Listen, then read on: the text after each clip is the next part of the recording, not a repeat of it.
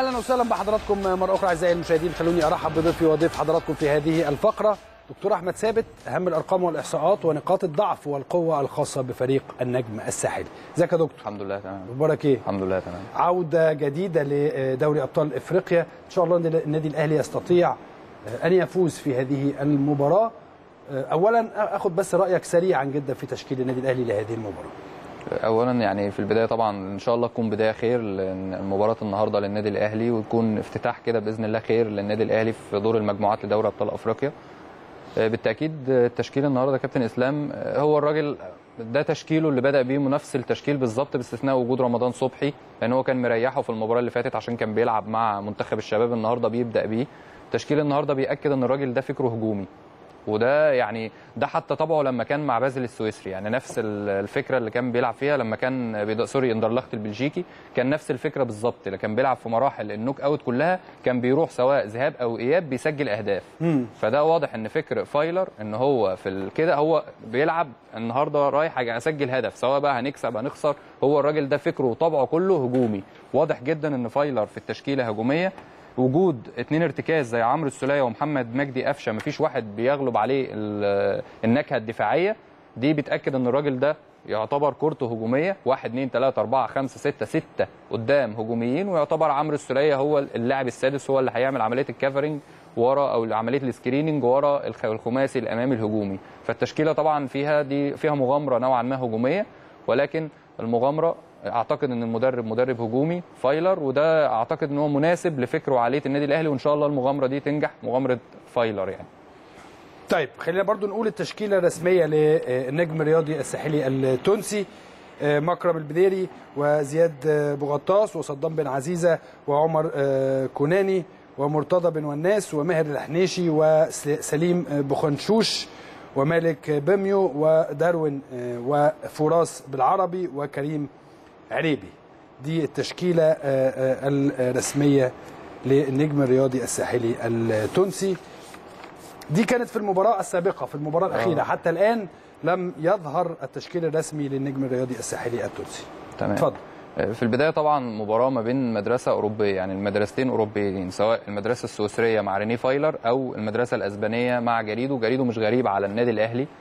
يعني طبعا كان مسك النادي الأهلي حصل على بطولة الكونفدرالية حصل على السوبر يمكن في سبع لعيبة كمان من تشكيلة النادي الأهلي تدربوا تحت قيادة جاريدو. لو بصينا عليهم هنلاقي رقم واحد موجود سعد سمير أكتر لاعب لعب تحت قيادة جريدو. سعد سمير لعب 29 مشاركة حسام عاشور لعب 26 مشاركة وليد سليمان 26 مشاركة شريف إكرامي 18 مشاركة رمضان صبحي 16 مشاركة أيوه. محمد هاني 13 مشاركة أحمد فتحي مشاركة واحدة. اذا الراجل ده عارف عنده خبرات كويسة بلعيبه النادي الأهلي. تحديدا في في التشكيلة الأساسية النهارده وليد سليمان وفي رمضان صبحي وفي محمد هاني. ثلاث لعيبة. يعني وليد سليمان لعب معاه 26 مشاركة فيعلم كثيرا قدرات وليد سليمان جاريدو يمكن لو بصينا بقى على المقارنة ما بين الاثنين يمكن طبعا رينيه فايلر الراجل السويسري لعب مع النادي الأهلي سبع مباريات كسب السبعة. ما تعادلش ولا مباراة ما خسرش ولا مباراة. جاريدو لسه متولي المهمه يوم 18 نوفمبر 2019 لعب مع النجم مباراة واحدة كانت قدام اتحاد بن كردان في الدوري التونسي اتعادلوا واحد واحد دي كانت المباراة الوحيدة. طبعا إنجازات جاريدو التدريبية ليه أربع ألقاب. يمكن هو اخذ كأس السوبر مع النادي الأهلي 2014 اخذ الكونفدرالية مع النادي الأهلي 2013 2014 اخذ كأس المغرب مع الرجاء المغربي سنة 2016 2017 ومنها صعد إلى الكونفدرالية وحصل على لقب الكونفدرالية مع الرجاء المغربي 2017 2018 أيوه. رينيه فايلر الناحية الثانية طبعا انجازاته الدوري البلجيكي مع إندرلخت البلجيكي كأس السوبر مع إندرلخت البلجيكي 2017 2018 كأس السوبر مع النادي الأهلي السنة دي 2019 2020 ده بالنسبة للمقارنة سريعة كده ما بين الاثنين المدربين. طيب. خلينا نروح بقى للتشكيل المتوقع لل- للنجم الساحلي الرياضي التونسي. طبعا النهارده النجم الساحلي في فكر جاريدو قدامه أكتر من حل للغياب عندهم المدافع الأساسي وركيزه منتخب تونس صدام بن عزيزة. بيغيب عنهم في التشكيلة يمكن هو كمان كان بيلعب في المباراة الأخيرة لمنتخب تونس. مساك دولي يمكن هم عندهم الاثنين المساكين زياد بوغطاس وصدام بن عزيزة الاثنين دوليين. فغياب المدافع صدام بن عزيزة هيعمل مشاكل بإذن الله كتيرة لفريق النجم الساحلي. عند جاريدو ليه؟ ما عندوش البديل الكفء فممكن يعني هو هو طريقة لعب جاريدو دايما بيلعب بيه خمسة طريقة النجم الساحلي 5 4 1 3 3 مدافعين. فهو النهارده بيغيب المدافع اليمين اللي هو صدام بن عزيزة فقدامه حل من الاثنين مفيش تالت ليهم يعني. يا إما يبدأ بعمار الجمل اللي هو المساك الاحتياطي اللي هو 32 سنة وده كان موجود أيام الجيل بتاع حضرتك اللي هو 2000 لما اخذوا دوري أبطال أفريقيا من ساعتها هو بيلعب عمار الجمل. اللي هو المساك ده ممكن يبدأ بيه اللي هو عنده 32 سنة. جنب زياد بوغطاس بالمناسبة زياد بوغطاس الليبرو طوله 193 لعيب طويل القامة لعيب أيوة. دولي في منتخب تونس. المساك الثالث محمد كوناتي من مالي وده طبعا منتقل من نهضة بركان المغربي وكان أخذ أفضل مدافع صاعد في الدوري المغربي طوله 191 عنده 27 سنة. فدول الثلاث مساكين اللي هم هيعوضوا غياب صدام بن عزيزة. يا إما الحل الثاني إن هو يكتفي باثنين بس ويلعب بارتكاز ثالث يعني هو هو طريقته المعتادة ثلاثة فعنده النهارده صدام بن عزيزة مش موجود. أيوه. فيا إما صدام بن عزيزة ده هي- هيدخل مكانه عمار الجمل اللي هو المساك اليمين يا إما يغير طريقة اللعب خالص ويلعب 4 2 3 1 بدل 3 4 3 2 1 بدل اللي هو 2 ارتكاز وبدل 3 مدافعين يخليها 4 3 2 1 ويدخل مالك بعيو كارتكاز ثالث في وسط الملعب. فدي ال- الفكر بتاع جريدو النهارده أو الترشيحات للتشكيلة. بسبب غياب صدام بن عزيزه هيفرق معاهم وهيبقى في بطء رهيب في دفاع النجم الساحلي. نقدر إن شاء الله نستغله بسرعات رمضان سرعات أجاييه سرعات وليد سليمان سرعات حسين الشحات. مهمه جدا. ده لو بصينا على باقي التشكيل مرتضى بن وناس ده ال back left واحد من هدافين فرقة النجم الساحلي رغم إن هو back شمال. متخصص لعب الضربات الس- ضربات الجزاء. عنده 25 سنة منتقل من نادي البنزرت التونسي. ال back اليمين ماهر الحناشي. عنده 35 سنة وماهر الحناشي أحيانا بيلعب جناح يمين.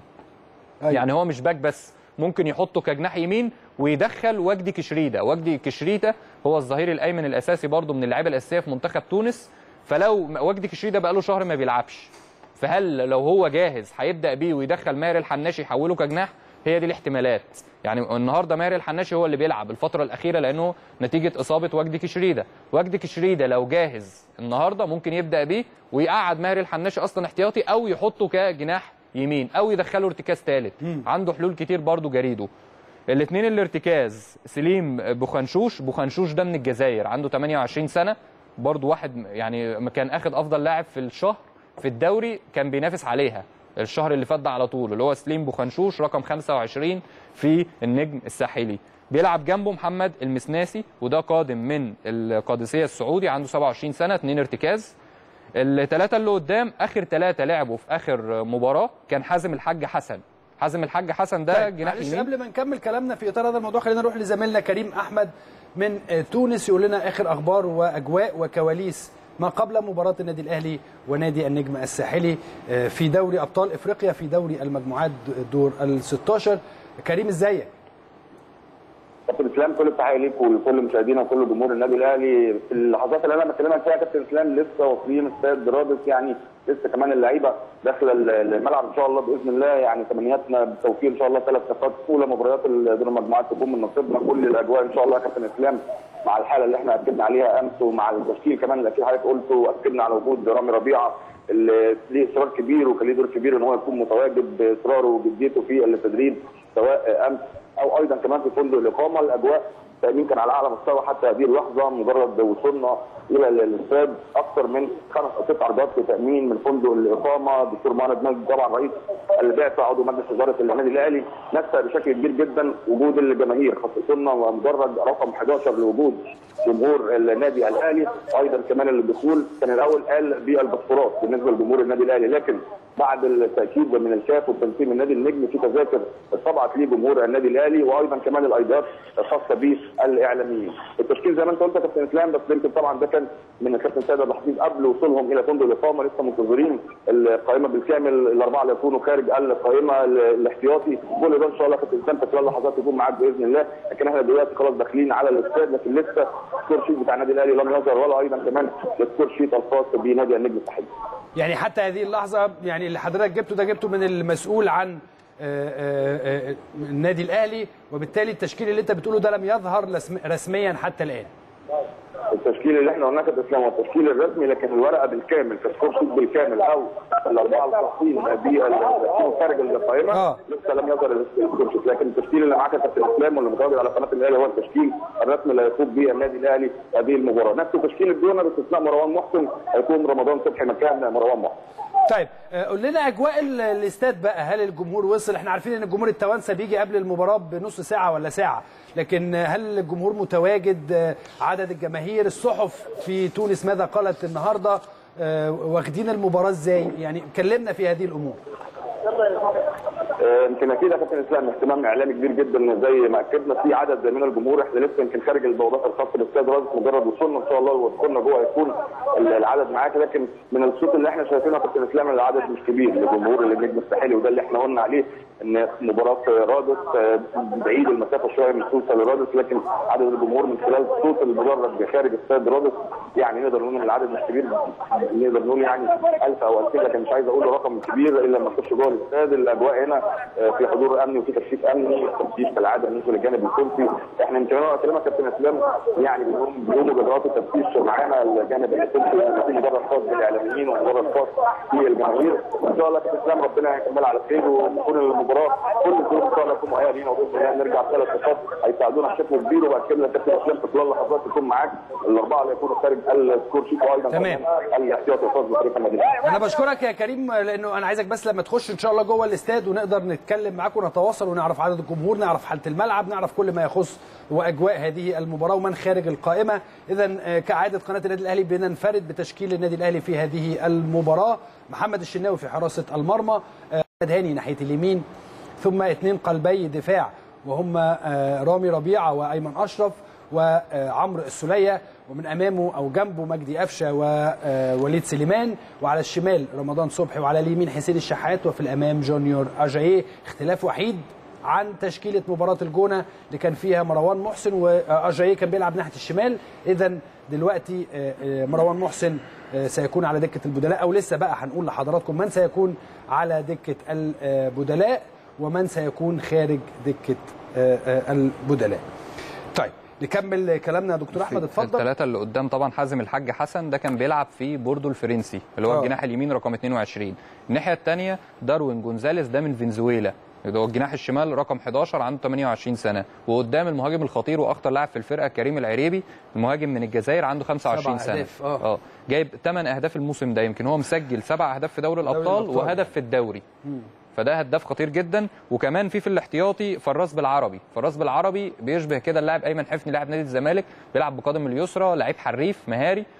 برضه ممكن يكون مفاجأة لينا النهارده واحد زي فراس بالعربي نكون عاملين حسابنا عليه إن هو سواء بدأ أو حتى في الشوط الثاني يمكن أول حاجة معانا هنبص عليها طيب خلينا نروح آه لمقارنة ما بين كريم العريبي ومهاجم النجم الساحلي وجونيور جونيور. مهاجم تمام. النادي دي المقارنة دي حاليا في الموسم ده يمكن كريم العريبي آه، لعب خمس مشاركات في الدوري سجل هدف صنع هدف لعب في دوري أبطال أفريقيا. طبعا أول مباراتين بتوع ال 64 ما بيتحسبوش بيتحسب اثنين اثنين مشاركتين اللي هم بتوع ال 32 مسجل فيهم هدفين ومسجل خمسة قبل كده في الدور التمهيدي يعني جايب سبع أهداف في آه. دوري أبطال أفريقيا. برضه جونيور اجاييه لعب أربع مشاركات في الدوري مسجل هدفين صنع هدف لعب مشاركة واحدة في دوري أبطال أفريقيا وأحرز هدف واحد. يمكن لو بصينا على شكل التنظيم الهجومي بقى بتاعهم بتاع فرقة النجم الساحلي إزاي هم يعني إزاي خطورة المهاجم كريم العريبي؟ لو بصينا على الفيديو هنبص نلاقي إزاي ده ده تحليل بالفيديو لفريق النجم الساحلي. إزاي هم التنظيم الهجومي بتاعهم؟ دي أول حاجة. بص حضرتك هتلاقي نرجع بس من الأول ده اللي مين اللي بيرفع؟ ماهر الحناشي. اللي بي- بيقطع كده للعمق دايما الظهير بيطير وال- والجناح بيقطع ما بين. ال third back آه. وما بين بيعمل. overlap في المكان ده- الفاضي. الجملة دي هنشوفها كتير جدا النهارده في جبهه علي معلول. طبعا هي اتقطعت راحت كمان هناك للناحية الثانية لجونزاليس. جونزاليس اللي معاه الكورة دوت اللي هو عليه الدايرة بيشوط. ده الجناح الفنزويلي. الكورة اللي بعدها برضه هنلاقي نفس الفكرة. بص مين اللي هيستلم؟ نوقف هنا ثانية واحدة. مين اللي هيستلم ده؟ ده كريم العريبي. آه. كريم العريبي ده المهاجم نازل عشان ياخد معاه المدافع اللي هو الأفريقي في ظهره ويفضي مساحات في. ظهره لوراه. أهو نفس الفكرة. مين اللي هيقطع بقى؟ الجناحين. يعني بص الدايرة حضرتك. نو- نوقف هنا ثانية واحدة. بص مين مين اللي قاطعين؟ الاثنين الجناحين. آه. اللي هو اللي على اليمين وعلى الشمال. فده فكر واضح من جريده. إن المهاجم هيسقط والجناحين هيخشوا في الدايرة الفاضية دي اللي هي فيها مين؟ اللي هم الجناحين اللي هو ماهر الحاج حسن الحازم الحاج حسن وجونزاليس. الاثنين نكمل. نبص هنلاقي اهو الاثنين قاطعين لجوه في العمق اهو. هنبص مين اللي استلمها؟ جونزاليس اللي هو الفنزويلي. دخل وقطع وجاب جون. ده آخر هدف ليهم في الدوري. فواضح إن ده فكر جريده. إن كريم العريبي بيسقط. نبص برضو على الفيديو بتاع كريم العريبي خطورة المهاجم كريم العريبي. الفيديو اللي بعد كده إزاي هم ب... طبعا هم بيلعبوا بثلاثه ورا زي ما قلنا. بيلعبوا بخمسة أربعة واحد. فطبعا الطريقة دي زي طريقة كابتن شوقي غريب كده مع المنتخب. بتعتمد على إيه؟ بتعتمد على الأطراف. اطراف لازم عرضيات من الجنبين عشان مهاجم زي كريم العريبي ده. ده برضو دي واحدة لماهر الحاج حسن بيدخل العمق وبيشوط. اللي بعدها على طول هنلاقي كريم الإيه؟ العريبي. مهمة جدا. أهي. بص حضرتك دي عرضية أهو. بص ماهر الحناشي بيلعب للجناح. الجناح المرة دي قاطع للطرف. بيعمل العرضية لمين؟ لكريم العريبي. العريبي. مميز جدا جدا جدا بضربات الراس. أوه. لازم رامي ربيعة وأيمن أشرف. يكونوا واخدين بالهم جدا من المهاجم كريم العريبي المميز جدا بضربات الراس واحد من أفضل المهاجمين في الدوري وده على فكرة فرق غيابه الموسم الماضي على عن مواجهة نادي الزمالك اللي هو كان آخد كارت أحمر في المباراة اللي قبلها فمهاجم. أيوه. شرس مهاجم مميز جدا بيه ده أخطر لاعب عندهم اللي هو رقم تسعة اللي قدامنا على الشاشة الفيديو اللي بعده برده نفس الكورة ونفس اللعبة بيعتمدوا على الأطراف اختراق من الأطراف يا إما جناح وظهير هيعمل overlap يا إما كرة عرضية لل back. ده شكل التنظيم الهجومي بتاع النجم الساحلي. أهو بص عرضية هوب بالراس على طول للمهاجم. اللي هو مين؟ كريم العريبي. ده اللي لاعب الكرة 19 ماهر الحناشي. أيوة. اللي إحنا قلنا النهارده ممكن كمان ما يبدأش ويبدأ لعيب زي وجدي كشريدة. وجدي كشريدة ده ظهير أيمن منتخب تون. ادي برده نفس الفكرة. مين اللي عامل له العرضية؟ اللي عامل له العرضية اللي هو فراس بالعربي اللي هو اللي إحنا قلنا عليه اللي هو ممكن ينزل. آه. آه الشوط الثاني اللي هو شبه أيمن حفني. اللي هو بيلعب بقدمه اليسرى. اللي هو اسمه بالعربي ده لعيب برده مميز ومميز بالراسيات بالعرضيات. بيلعبها على طول ليه؟ على رأس كريم العريبي واحد من أفضل المهاجمين اللي بيلعبوا بضربات الرأس. فنخلي بالنا النهارده من الكرات العرضية. دي فيديوهات بتوضح شكل التنظيم الهجومي للفرقة. أهو. بص حضرتك كريم العريبي بيسجلها جول. يبقى من من كلا الأطراف. من كلا الطرفين. آه من كلا آه، هل النهارده جريدو ممكن يفاجئنا وما يبدأش بخمسة ورا بحيث إن أنت عندك صدام بن عزيز زي- ما قلنا مش موجود فمش شرط إن هو يبدأ بخمسة ورا ممكن يغير أصلا ويلعب بأربعة ويكتفي بمحمد كوناتي وزياد بوغطاس ويلعب أربعة ويدخل مالك بعيو عنده لاعب اسمه مالك بعيو ده ارتكاز. آه. يدخله كارتكاز ثالث زي مثلا حسام عاشور عندنا كده يدخله كارتكاز ثالث ويلعب 4 3 2 1 بدل 5 3 2 أو بدل 5 هنشوفه 4 بقى 1 في آه، أثناء آه، المباراة. خلينا نروح لبعض المقارنات ما بين حسين الشحات وحازم الحاج حسن آه، المركزين. آه الجناح اليمين والجناح اليمين. آه. حسين الشحات ده 27 سنة حازم الحاج حسن ده 23 سنة وكان يعني واحد من المواهب في تونس. يعني احترف في بوردو الفرنسي وكان بيدربه سانيول المدرب بايرن ميونخ أو لاعب بايرن ميونخ السابق. لعب ست مشاركات السنة دي. حازم الحاج حسن ما جابش ولا هدف ولكن هو يعتبر محطة مهمة جدا في يعني الأرقام دي قبل قبل وجود جريدو ولكن مع وجود جريدو واضح إن هو محطة مهمة جدا ناحية اليمين في ظهر في المساحات اللي ورا علي معلول. الناحية الثانية حسين الشحات. حسين الشحات لعب أربع مشاركات في الدوري مسجل ثلاثة ثلاث مباريات على التوالي الأخيرة وصنع هدف. طبعا حسين الشحات بيمر بفترة توهج وأعتقد النهاردة ممكن يكون حل مهم جدا للنادي الأهلي من الحلول في ال- البطء الواضح اللي عندهم في خط الدفاع. طيب. نروح بقى لمقارنة الجناح الأيسر. رمضان آه، صبحي وداروين آه، لاعب آه، الفنزويلي لاعب نادي النجم الساحلي. يمكن جونزاليس رقم 11 ده اللي ممكن يبدأ وممكن اللي هو بالعربي يبدأ مكانه. واحد فيهم آه واحد فيهم آه. الجناح الفنزويلي ده اللي لسه مسجل هدف اللي إحنا لسه عارضينه. يمكن هو لعب خمس مشاركات في الدوري أحرز هدف صنع هدف في دوري أبطال أفريقيا في المباراتين في دور ال 32 لعب مباراتين عنده أسيست. رمضان طبعا لعب أربع مشاركات في الدوري أحرز ثلاث أهداف. صنع هدف واحد وفي دوري أبطال أفريقيا في المباراة اللي هي بتاعه ال 32 لعب مشاركة واحدة ما صنعش ولا هدف. ده يمكن المقارنة برضو ما بين رمضان وما بين جونزاليس. في مقارنة. تانية ما بين بقى الظهير الظهير الأيسر للنادي الأهلي واحد من نجوم ومفاتيح النادي الأهلي علي معلول وأيضا آه، مرتضى بن والناس ظهير أيسر النجم الساحلي. هنبص على رقم علي معلول في حاجة ومرتضى بن وناس في حاجة رغم إن الاثنين back left. إلا إن علي معلول في الدوري لعب أربع مشاركات عنده ثلاثة assist مع النادي الأهلي. فده ماكينة أسيستات ماكينة خطورة واضحة للنادي الأهلي. وعنده 61 مباراة دولية رقم كبير جدا لعلي معلول طبعا. الناحية الثانية هو قائد منتخب تونس. الناحية الثانية مرتضى بن وناس عنده رقم مميز. إيه هو؟ إن هو هداف النجم الساحلي في الدوري رغم إن هو back left. عنده أربع أهداف مسجل أربع أهداف. فده. رقم برضه بيأكد ومنهم ضربتين أو ثلاثة ضربات جزاء. فده بيأكد إن هو عنده حساسية كويسة ودايما بيلعبها على يمين الحارس. أيوه. يعني ضربات الجزاء لمرتضى والناس لو لا قدر الله اتحسب علينا هتلاقيه لعبها على يمين محمد الشناوي. ده المكان المفضل ليه. عدد المشاركات الدولية ما بين الاثنين ده واحد وس... علي معلول 61 مشاركة طبعا. ومرتضى آه،. مشاركتين. آه هو واضح إن يعني علي معلول طبعا هو الباك الشمالي الأساسي في منتخب تونس مرتضى بن والناس حتى ما بيتمش استدعائه كتير. ايمن بن محمد برضو موجود هو اللي بيكون بديل لعلي معلول في ناحية ال back الأيسر.